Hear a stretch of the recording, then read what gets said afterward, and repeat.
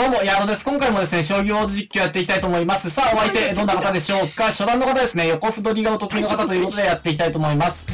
さあ、こちら先手番ということで、えーやっていきたいと思うんですけれども、さあ、お相手、えー下先まっすぐついてきておりまして、えー、お相手の戦型は、まあ、居飛車の中でも、これは、えー、さあ、一応棒銀っぽく、えー来てるんですかね。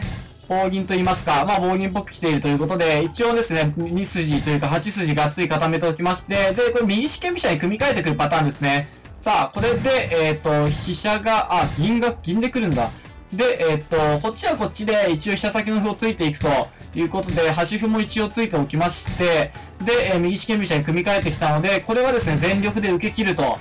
えー受け切るということですね。間違えずに受け切れば、まあこっちが、えー良くなるということなんですけれども、まあ間違えずに受け切れるのかどうかというのが問題ですね。さあ、今のこの角をぶった切ってきたのは、こっちに対して優勢に働かないんで、まあ、えーこのあたりはですね、このあたりは何かちょっとここでなんかいい手がないのかってことを模索しながらも、まあとりあえず一回飛車引いていくということに対して、2分えー、っとです30ね、秒まあこれ角打ちですかね、一回ね。はい、角打ちましょう。角打っといて。さあ、これで、この飛車自体も特に脅威ではないので、はい、えー、っと、これで、えー、もし桂馬がここにあればね、もう一瞬で終わるんですけど、まあ桂馬ないので、まあちょっと待ってね、でもこれ桂馬をゲットする手があるんじゃない？もしかして。もしかするとだけど、もしかするとだけど、この風は何なの？めちゃくちゃ怖いんだけど。めちゃくちゃ怖いのですが、何なんですか？これ。めちゃくちゃ怖いんだけど。えー、っとね、ちょっと待ってよ。とりあえず桂馬ゲットしよう、桂馬。け、えー、っと、なんか打ってきたけど、これ打ってきたけど引いといて大丈夫？引いといて問題ない？2分はい。これで、えー、ちょっと桂馬ゲットするとかそういう次元の話じゃなくなってきちゃいましたね。はい。これで、えー、っと、銀取っていって、銀取っていってですよ。待ってよ、積んでないの？これ。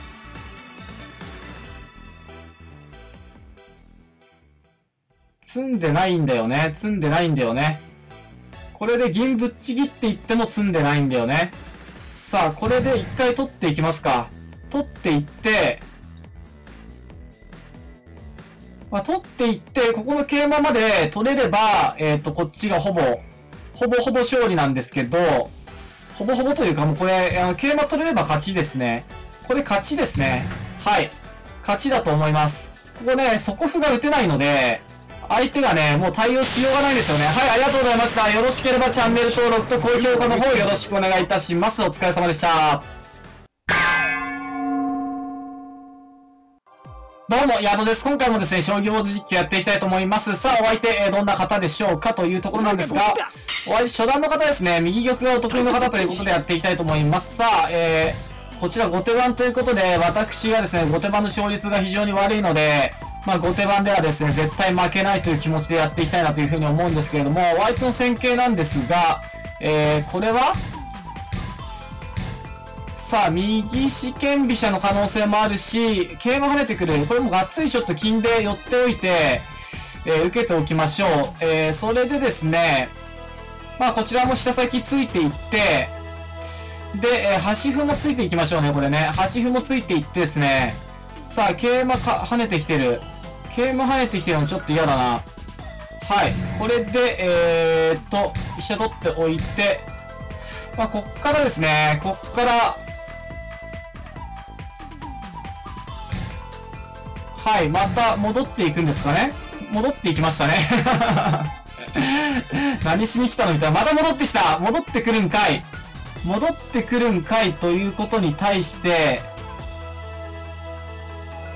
2分30秒え、待って、ここに、ないよね。これ金上がりで意味ないか。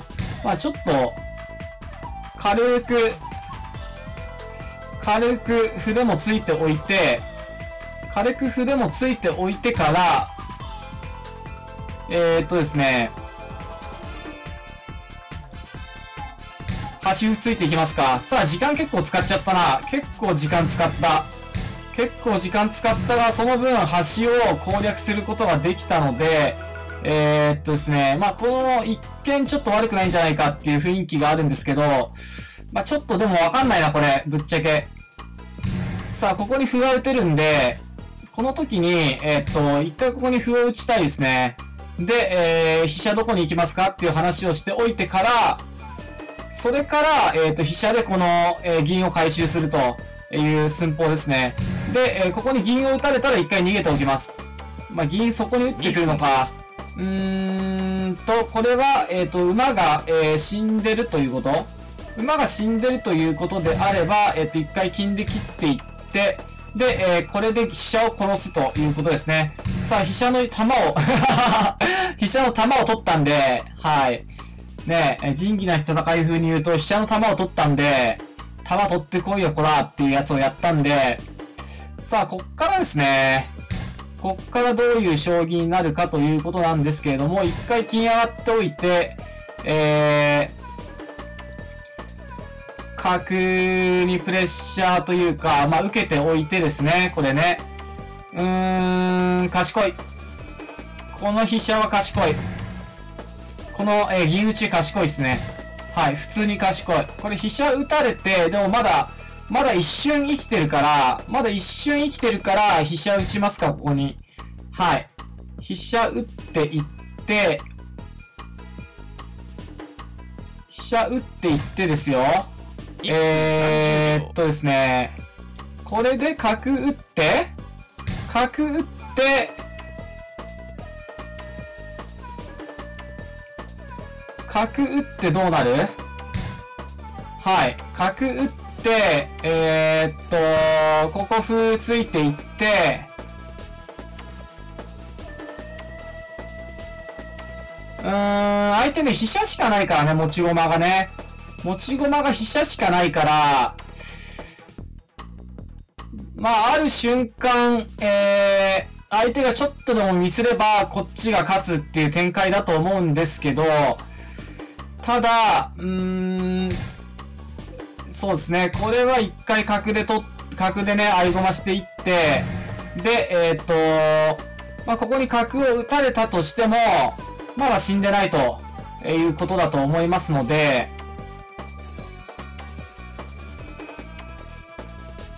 さあ、これでどうかな？これでどうですかね？いけてるんじゃないかな？いけてるんじゃないですかね、これでね。